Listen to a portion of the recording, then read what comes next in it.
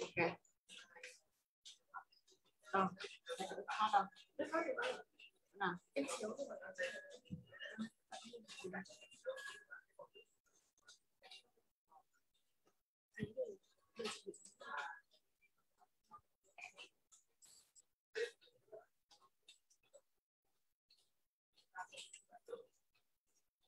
đúng không? À, đúng không? Có chỗ nhìn đây đúng không? Nhìn đúng không? Vâng ạ, à, đã đến giờ giảng thì mọi người uh, thu xếp công việc vào để nghe bài cuối như series cấp cứu uh, cấp cứu uh, của mình. Thế mọi người đã nghe rõ uh, âm thanh và nhìn thấy rõ màn hình chưa ạ? Rõ rồi bác sĩ Trang. Thế thì để tiếp nối thì ngày hôm nay mình sẽ mà học phần cấp cứu thảm họa thì khác với cái ESI mà mình đã học trong suốt một tuần qua thì cấp cứu thảm họa nó rất là khác là cấp cứu thảm họa nó xảy ra trong cái môi trường. Khi mà chúng ta các cái uh, nguồn lực về người về uh, vật tư y tế về trang thiết bị không đầy đủ để cung cấp được cho tất cả đối tượng mà vào khoa cấp cứu thì khi đấy chúng ta sẽ phải chia một kiểu khác để đảm bảo là gì ạ? Cứu được những người có khả năng cứu và bỏ qua những người mà chúng ta biết trước về cái outcome của ta không tốt hoặc là tránh lòng lỡ những cái người mà cứu được. Khi chúng ta tập trung quá nhiều vào một ca. Thế thì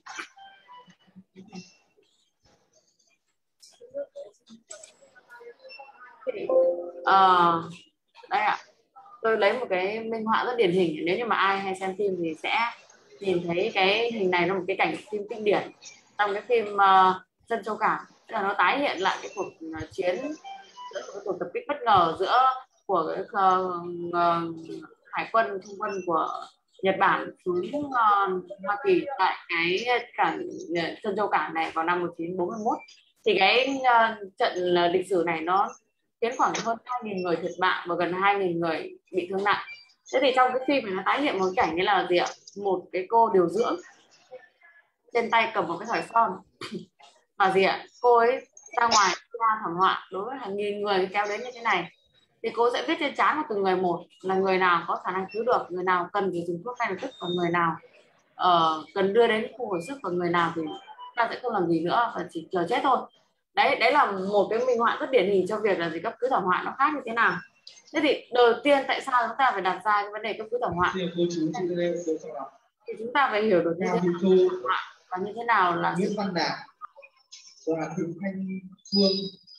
Đỗ Thị Anh. Gì đấy nhỉ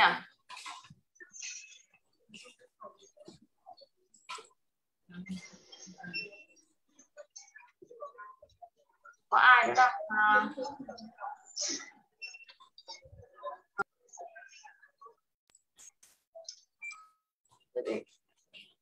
mọi người cố gắng là không làm cái buổi của mình nó, nó ảnh hưởng đến buổi giảng ạ. Cố gắng tắt cái loa tắt cái mic của mình ạ chỉ mở cái cần thiết thôi. Thế thì uh, trước tiên ấy, thảm họa là gì? Thảm họa tức là trong cái tiếng Anh này gọi disaster là một cái biến cố gây ra thương tích hàng loạt cho con người và nó vượt quá cái khả năng đáp ứng trong điều kiện bình thường. Thế thì ví dụ như là gì ạ? là chiến tranh là sóng thần là động đất là dịch bệnh. Khi mà số lượng ca uh, ca bệnh nó quá nhiều vượt quá cái khả năng tiếp đón vượt quá khả năng phân loại và xử trí của y tế. Và cái thứ hai nữa là một cái khái niệm là mass casualty uh, incident đó là một cái sự cố thương vong hàng loạt. Nó khác với thảm họa là gì ạ? Có khả năng đáp ứng được có thể chưa đến mức quá tải. Tuy nhiên là gì ạ? Một cái nhu cầu đáng kể về nguồn lực. Và nếu như mà không phân bổ một cách đúng lúc, đúng và kịp thời thì chúng ta sẽ dẫn đến thảm họa, tức là gì chúng ta sẽ bỏ sót rất là nhiều. Thế thì cái, các cái ví dụ cho sự cố thương vong hàng loạt là gì? Là các cái tai nạn nạn giao thông liên hoàn, đó là các cái vụ nổ khí ga nơi đông người. Đó là các cái mà ví dụ như sập sập, ví dụ các cái sập giàn giáo chẳng hạn hoặc là đấy là các những cái mà sập cầu chẳng hạn đây là những cái mà những cái sự cố thương vong hàng loạt hoặc là những cái bãi mà dẫm phải mềm nó gây nổ ở vùng lớn và gây uh, gây cái, cái tổn thất đến nhiều người. Thế thì như vậy là cái sự cố thương vong hàng loạt hàng loạt con người sẽ uh, bị tai nạn và sẽ phải đưa đến ồ ạt đến một nơi tại khoa cấp cứu. Tại cái thời điểm đấy thì uh, chúng ta cái nguồn lực của chúng ta có thể là nếu như đặt ra chỉ huy tất cả lại của bệnh viện thì có thể đủ được nguồn lực. Tuy nhiên nếu như làm không khéo thì sẽ không thể thể đáp ứng hết và sẽ xảy ra tình trạng quá tải. Vì vậy trong những cái hai cái tình huống nhạy cảm như thế này thì bắt buộc chúng ta không chia được như thông thường, như cái ESI mà chúng ta nêu, mà chúng ta phải chia theo hướng thảm họa. Tức là chúng ta lựa chọn những đối tượng nào có khả năng cứu được và biết loại bỏ những cái vùng bệnh nhân nào mà chúng ta sẽ gần như là sẽ bỏ qua, không cấp cứu nữa. Đấy, và đưa bệnh nhân đến cái vùng vùng thích hợp sau đó thì tại cái vùng đấy rồi thì chúng ta lại mới uh, uh, tiếp tục là cái điều trị khác nhau. Vậy thì khác biệt với ESI là gì ạ? ESI chúng ta nhắc lại là chúng ta đã học là có hệ thống năm cái màu này. Đối với năm level là màu đỏ màu cam màu vàng màu xanh lá cây và màu xanh nước biển nhạt thì nó ứng với năm năm năm cái ờ, năm uh, uh, cái mức độ ví dụ mức độ ESI 1 là sống còn ESI 2 là trong tình huống nguy cơ ESI 3 là đối với cần phải nhiều cái hỗ trợ về uh, uh, nguồn hỗ trợ nha. Bốn năm là một hoặc không cần nguồn hỗ trợ nào. Thế thì khác với cái uh, disaster và MCI thì chia như thế này. Chia như thế này thì chúng ta người ta chỉ có bốn màu thôi đỏ vàng xanh và đen. Vậy thì nó có một cái màu đen. Cái cốt cái cái tab đen này nó thể hiện là gì ạ? Là bệnh nhân tử vong hoặc là bệnh nhân mà chúng ta nghĩ sẽ tử vong thì chúng ta sẽ có cái tác đen này. Đấy là cái thứ nhất. Cái thứ hai nữa là gì ạ? Đối với trường hợp mà cần có nguy cơ uh, gọi là gì ạ? Sống còn thì là tác đỏ. Cái tác mà có thể đi lây lại được đợi được để được chăm sóc y tế thì sẽ là tác vàng. Và đối với những tổn thương nhỏ có thể đợi chờ lâu dài có thể tự đi lại được thì là tác xanh. Vậy thì mình sẽ đi vào cái uh, cái cái à, dựa vào cái màu sắc này mình sẽ hôm nay mình sẽ được tôi sẽ giới thiệu đến các bạn là cái uh, flow tức là gì? Cái phân độ start and jump start là cái phân độ gần như là dễ nhìn nhất dễ hiểu nhất và tất cả điều dưỡng các bạn đều có thể hiểu được. Start là gì ạ? Simple chia and rapid treatment. Thì cái uh, lưu đồ này được phát triển bởi sở cứu hỏa hàng hải uh, Newport Beach và bệnh viện uh, Hoang ở Newport Beach, California vào năm 1983 và đến tại thời điểm hiện tại thì tuy rằng có nhiều cái phân độ, các cái ờ, phương tiện khác nhau, tuy nhiên cái start này thì vẫn là một cái phương tiện thực sự phổ biến và rất hữu ích. Đây là một cái algorithm tức là một cái flow mà chúng ta xem rất là đơn giản. Khi bệnh nhân vào, bệnh nhân có khả năng đi lại hay không? Nếu như có khả năng đi lại được, đây là mình đang nói cho một nhóm bệnh nhân ồ ạt tiến vào, một nhóm các cái nạn nhân tiến vào. Nếu như có khả năng đi lại, người ta ngay lập tức phần vào cái tác màu xanh. Ờ, đưa đến cái vùng màu xanh. Nếu bệnh nhân không có khả năng đi lại thì gì ạ? Kiểm tra về hô hấp. Nếu như còn hô hấp nếu như không còn hô hấp nữa thì uh, người ta sẽ gì ạ? Sẽ mở đường thở khai thông đường thở. Và khai thông đường thở rồi mà vẫn không hô hấp thì ngay lập tức sẽ được dán tắt đen tức là tử vong hoặc là khả năng cao sẽ tử vong. Và gần như chúng ta sẽ không di chuyển bệnh nhân đi đâu hết. Chấp nhận mình sẽ chết tại đây. Nếu như vẫn thở nhưng thở dưới 30 lần một phút. Thì hoặc à, thở uh, trên 30 lần một phút hoặc là dưới 10 lần một phút. Nếu như mà uh, mà uh, xin lỗi ạ. Nếu như thở dưới không có tình trạng thở dưới 30 lần một phút thì chúng ta đều tắt đỏ. Còn nếu không thì chúng ta sẽ đi vào cái phần là đánh giá cái review cái đánh giá cái tài, uh, tuyến máu mô. Nếu như review trên 2 giây kiểm soát à, tức là nó nghi ngờ cái giảm tuyến máu mô thì kiểm soát chảy máu và đưa vào tắc đỏ tức là cần phải hỗ trợ ngay lập tức. Còn nếu như review dưới 2 giây tiết tuyến máu mô tốt thì chúng ta sẽ đánh giá bệnh nhân ý thức phần vùng C à vùng ờ, D là gì là mental status là xem cái ý thức của bệnh nhân như thế nào. Nếu có thể trả lời được những câu đơn giản thì sẽ là tác vàng tức là bệnh nhân có thể sang cái vùng đợi chờ được chờ để được thăm khám. Còn nếu như không thì tiếp tục là kiểm soát cái nguồn chảy máu và đưa vào cái vùng đỏ. Đấy là cái flow thế thì chúng ta sẽ đi ý từng bước một, bởi vì nếu nói qua thế này các bạn sẽ chưa hiểu lắm. Một là khi có nạn nhân xảy ra đến với chúng ta chúng ta nói là khi chúng ta tiếp đón một nhóm đối tượng hoặc rất nhiều đối tượng vào hòa tức là mình nói đến MCI hoặc là disaster. Nếu như cái nhóm bệnh nhân vào, chúng ta sẽ phải có cái điều dưỡng ở bên ngoài chia, gì ạ? Phải đánh giá được là gì? Một, nạn nhân có tự đi lại được không? Nếu như có khả năng tự đi lại được, thì ngay lập tức là gì ạ? Dán nhãn màu xanh và hướng dẫn tới zone màu xanh. Zone xanh sẽ có người tiếp đón và lấy thông tin. Zone xanh này là zone mà gì ạ? Bệnh nhân có thể đợi chờ được để được thăm khám được. Là zone gần như là là an toàn. Tiếp theo nữa là gì ạ? Nếu như bệnh nhân không thể đi lại được thì chúng ta bắt đầu đi vào vùng A là đường thở. À, mục A đầu tiên là airway. Thế thì nếu như mà nạn nhân không thể tự đi lại được thì chúng ta bây giờ bạn phải tưởng tượng là gì ạ? Chúng ta làm chia khi mà thẻ thảm họa thì bạn phải xác định là gì mình phải đến với bệnh nhân, chứ bệnh nhân không thể đến với mình. Có thể là gì ạ? Bạn sẽ đến chia đến cả một cái kíp, sẽ đến tận một cái nơi gọi là hiện trường. Hoặc cũng có thể là gì? Rất nhiều xe và phương tiện đưa hàng loạt bệnh nhân đến. Thế thì bạn sẽ phải phân độ thế nào? Thứ nhất là bạn phải đến trực tiếp đến chỗ bệnh nhân để phân độ, nạn nhân để phân độ, chứ không phải là nạn nhân đến với bạn. Cho nên mới có là bệnh nhân có tự đi lại được không? Nếu có thì hướng dẫn người ta đi vào zone vào zone xanh như vậy. Tiếp tiếp theo nếu không có khả năng tự đi lại được thì chúng ta phải check xem là bệnh nhân có đường thở hay không. À tức là một airway đấy ạ. Nếu như bệnh nhân không có đường thở, không thở, thì chúng ta khai thông đường thở. Khai thông đường thở xong mà vẫn không vẫn không thở được thì chúng ta dán phát đen. Dán phát đen tức là chấp nhận bệnh nhân sẽ chết, bệnh nhân hoặc là có thể đã tử vong rồi, hoặc là có thể là gì ạ, tiến tới tử vong. Thì chúng ta dán phát đen và không di chuyển nạn nhân, tránh làm lãng phí cái nhân lực về y tế. Ờ, vào cái việc và chăm sóc được cái, cái đối tượng mà cái cơ hội gần như là không có này. Tiếp theo nếu như tiếp theo một cũng là một hô hấp là gì nếu như bệnh nhân có thở bệnh nhân thở thì chúng ta sẽ thấy là đi vào cái tác B, uh, ờ, B này breath breathing này.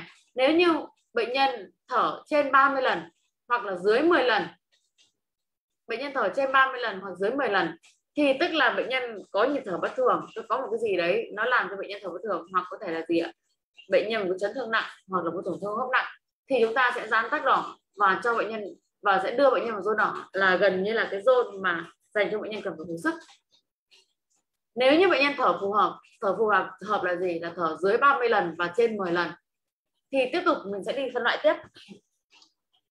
Vậy thì sau khi mà đến cái mục thở này uh, sau khi mà đến cái mục thở này thở ổn thở phù hợp từ 10 đến 30 lần trên phút rồi thì chúng ta sẽ đánh giá tưới máu. Vậy thì tưới máu chúng ta về y học chúng ta hay nghe là refill lúc nào cũng hỏi refill là bao nhiêu. Refill là để đánh giá tưới máu mô dùng cái động tác gì ạ? Ấn ở trên cái ngón tay ấy ạ. Thế thì uh, nếu như refill mà trên 22 giây tức là gì ạ? Tức tỏ là gì? Cái tưới máu mô rất là kém.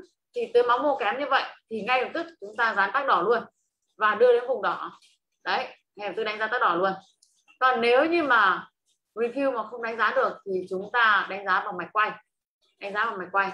Thế đây nói thêm ạ, nếu như chúng ta không đánh giá được review chúng ta đánh mạch quay. Nếu như mạch quay mà khó bắt hoặc không bắt được, thì chúng ta phải kiểm soát cái tình trạng chảy máu. Và sau đó là gì? Đưa vào giác tắc đỏ. Đây. Thế thì nếu như review trên 2 giây thì chúng ta tiếp tục phân loại tiếp. Đây, review trên 2 giây. Thì tiếp tục phân loại tiếp. Thì chúng ta sẽ đi vào mental status đấy là đánh giá ý thức.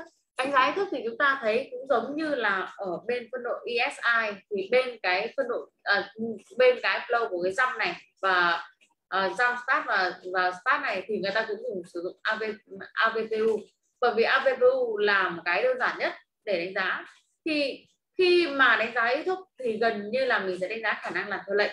Cái câu hỏi đơn giản nhất mà có thể hỏi được bệnh nhân là gì? Hãy nắm lấy tay tôi bác nắm lấy tay tôi, anh chị nắm lấy tay tôi xem nào. Nếu như bệnh nhân có khả năng làm được, thì tức là gì ạ? Bệnh nhân vẫn còn ý thức, bệnh nhân có khả năng đợi chờ được thì chúng ta cho vào tắc vàng. Còn nếu không, thì rõ ràng là bệnh nhân đang có vấn đề. Thì nếu như bệnh nhân có tình trạng mất máu tình trạng chảy máu, chúng ta phải kiểm soát tình trạng mất máu. Sau đó rồi chúng ta sẽ dán nhãn đỏ cho bệnh nhân, tức là đi theo hướng này. Đấy là toàn bộ cái phần răng vâng nhắc lại, mình đã thấy là gì ạ? Khi mà vào đánh giá cho bệnh nhân thảm họa hoặc là cái tai nạn liên hoàn, chúng ta đánh giá A, B, C, D. Tức là gì? A là đường thở airway, B là nhịp thở breathing, C là tuần hoàn circulation, và D là mental status. Thế thì A là gì ạ? Một là chúng ta đi vào, bệnh nhân phải đánh giá bệnh nhân có phải đi lại hay không? Nếu đi được thì là tắt màu xanh, nếu không đi lại được thì ngay lập tức mình thấy là đi lại là giám sát xanh, sẽ là vùng xanh, chúng ta có bốn vùng. Không đi lại được thì đánh giá hô hấp. Nếu như có nhịp thở thì là màu đỏ. Còn nếu như mà không có nhịp thở thì dán tay đèn vào để bệnh nhân ngay tại hiện trường không di chuyển chấp nhận bệnh nhân tử vong. Nếu có nhịp thở thì đánh giá là gì ạ? Nhịp thở uh, có phù hợp hay không? Nếu nhịp thở phù hợp được tính là gì? Trên 10 và dưới 30 nếu như nhịp thở không phù hợp thì chúng ta cũng đánh giá tắc đỏ luôn. Nếu như nhịp thở phù hợp chúng ta đánh giá tưới máu mô. Nếu tưới máu mô là refill trên 2 giây tức là tưới máu mô không phù hợp. Nếu bệnh nhân đang có tình trạng chảy máu thì chúng ta kiểm soát máu và dán tắc đỏ. Nếu refill tốt dưới 2 giây thì chúng ta đánh giá về mặt ý thức mental status. Bằng các câu hỏi đơn giản là nắm lấy tay tôi. Nếu như trả lời được câu hỏi đơn giản thì là zone vàng còn nếu không thì cũng kiểm soát máu và đi vào zone đỏ. Đấy là cái flow rất là đơn giản. Thế thì vấn đề là ra là gì ạ? Là trẻ em trẻ em thì uh, uh, có dùng như thế này được không? Một là gì ạ? Trẻ con thì có thể đi lại hoặc không đi lại. Cái thứ hai đi lại được. Cái thứ hai nữa là gì? Chúng ta không thể yêu cầu trẻ trẻ em đứa trẻ nhỏ trả lời được những câu trả lời đơn giản được. Đấy. Thế thì khi trẻ em thì bắt buộc người ta phải sử dụng cái một cái biện pháp khác ngoài cái start này. Nếu không thì chúng ta sẽ bỏ lọt. Hai nữa là sức sống của trẻ em nó rất là dai dai dẳng và tốt hơn người lớn rất là nhiều cho nên nếu như chúng ta dùng như cái một phân loại nhanh như thế này chúng ta sẽ bỏ sót cơ hội sống của trẻ em.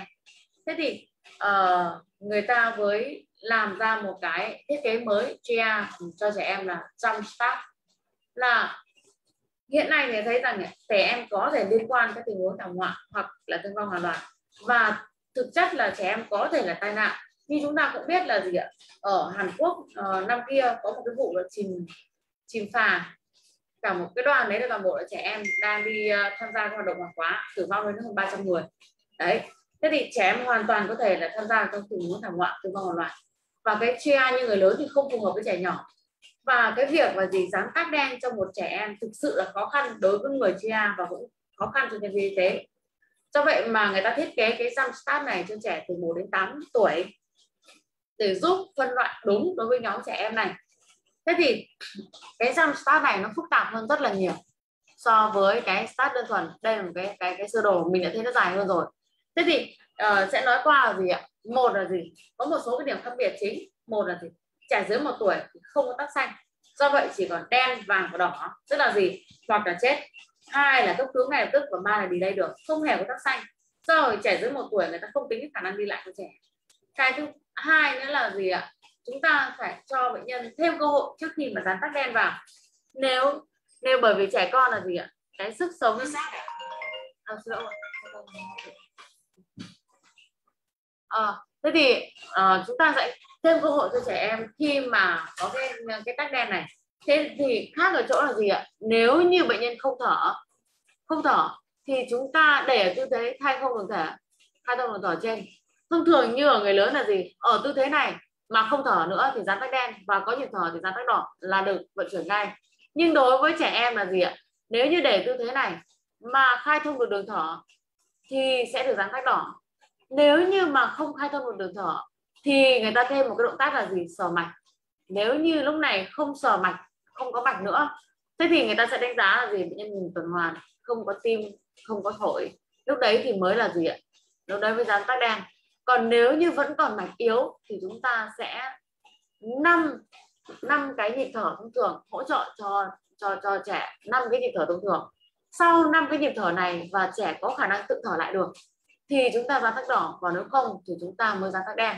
Như vậy là chúng ta thấy được khác biệt cơ bản giữa cái uh, người lớn và trẻ con là vậy. Người lớn hoàn toàn chia tắc đen chúng ta chưa cần sờ đến mạch bệnh nhân. Chỉ cần là gì? Bệnh nhân không thở được chúng ta chấp nhận là gì? Bệnh nhân sẽ tử vong. Chúng ta dành cái thời gian chúng ta cung cấp cứu người tuần hoàn, chúng ta cung cấp cứu về đường thở. Dành cái thời gian đấy để có thể cứu sống được nhiều người hơn trong thảm họa.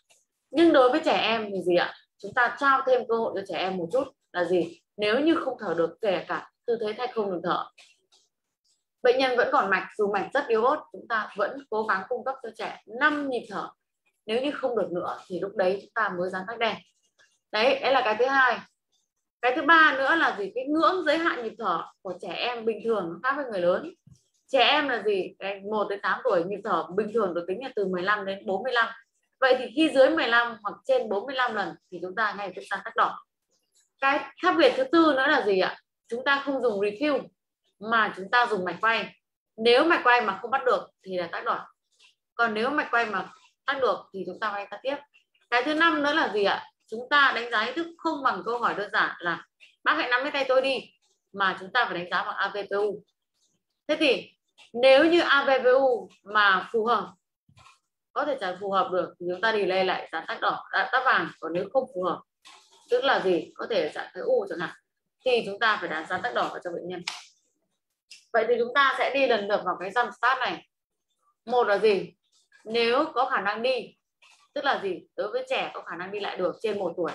Nếu đi lại được thì ờ, gì ạ?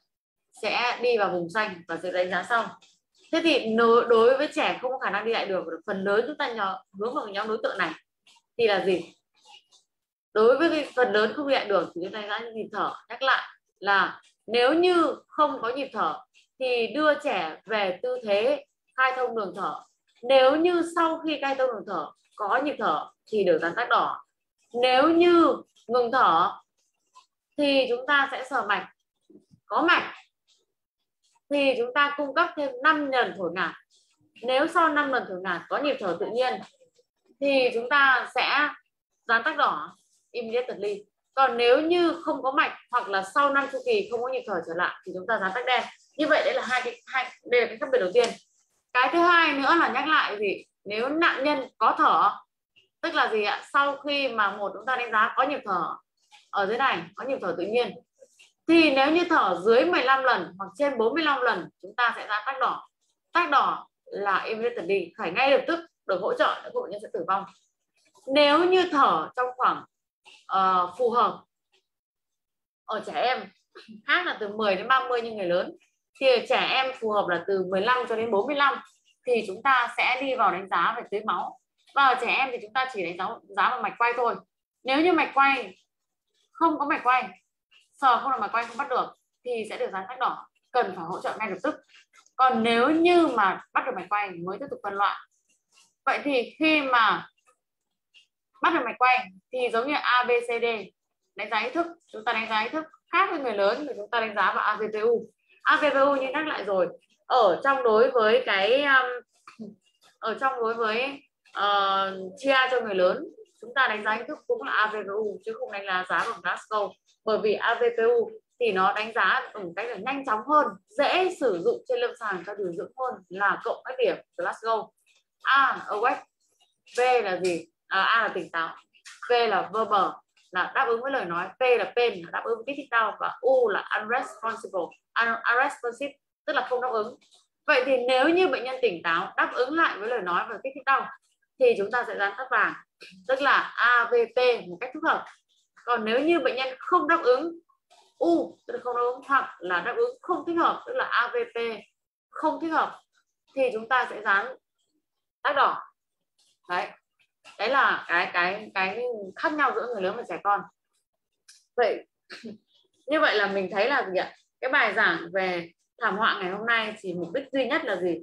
Chúng ta khi gặp tình trạng thảm họa hoặc là tai nạn liên hoàn thì chúng ta bắt buộc phải dùng một cái phương pháp chia khác đối với phương pháp thông thường. Chúng ta không chia theo ESI 1, 2, 3, 4 bởi vì nếu nếu như giả thử theo ESI 1 bệnh nhân có đang có tình trạng cần phải cấp cứu ngừng tuần hoàn chẳng hạn chúng ta sẽ tiến hành cấp cứu ngừng tuần hoàn.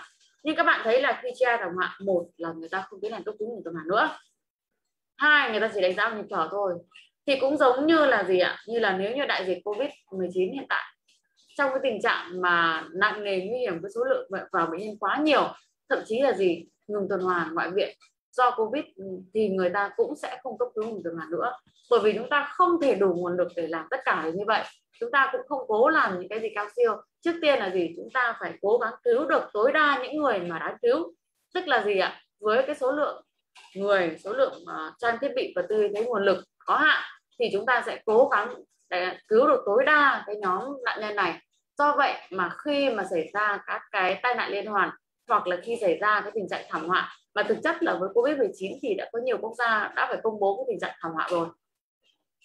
Thì khi chúng ta đánh giá cái này thường thực ra thì là uh, người ta ít mà sử dụng cái này trong cái trong cái dịch bệnh lắm.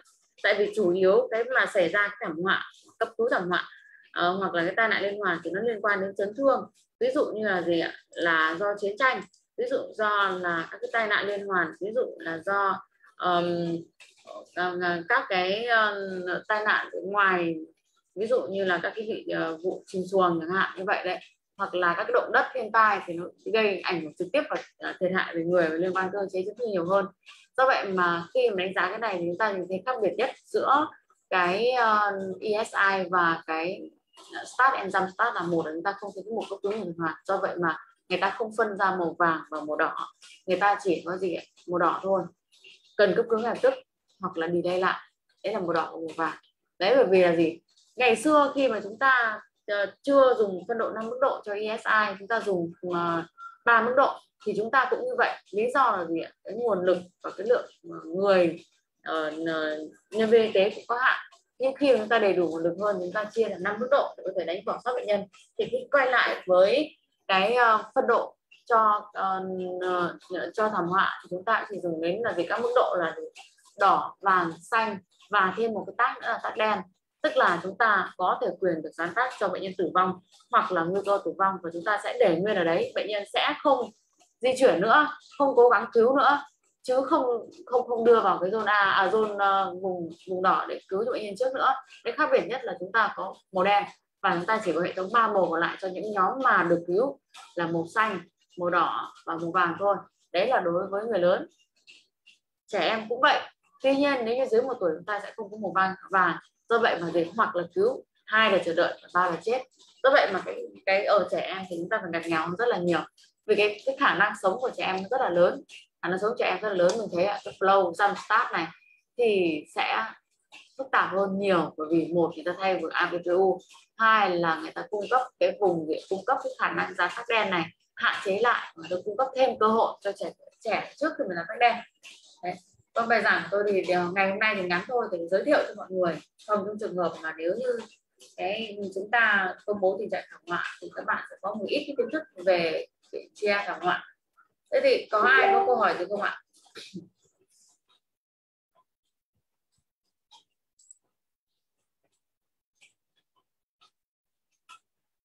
À, mọi người có nghe rõ không nhỉ? sáu phạm cao quyền thế thì nếu như mà uh, mọi người mà không có, có câu hỏi gì thì em xin phép được uh, kết thúc bài giảng ngày hôm nay của cái bài uh, phân loại thảm họa ngày hôm nay. Em bài giảng thì đã gửi cho mọi người rồi Ừ, mọi người có thể xem lại. Thì tuần này như vậy chúng ta đã kết thúc hoàn toàn cái chương trình ờ, uh, triage cho bệnh nhân. Thì hy vọng sang tuần sau mình bắt đầu có thể áp dụng được cái triage này trên lâm sàng. Và hy vọng là tất cả các bệnh án khi mà tiếp đón vào khoa đều phải biết được ESI bao nhiêu. Và thì sắp tới sẽ cố gắng thiết kế để cho các bạn có cái cái cái miếng dán ở bên ngoài uh, khu triage uh, ờ, vâng ạ. Nếu mà không có ai thắc mắc gì nữa thì chúng ta sẽ kết thúc buổi giảng tại đây nhé. Vâng chào tất cả các bạn.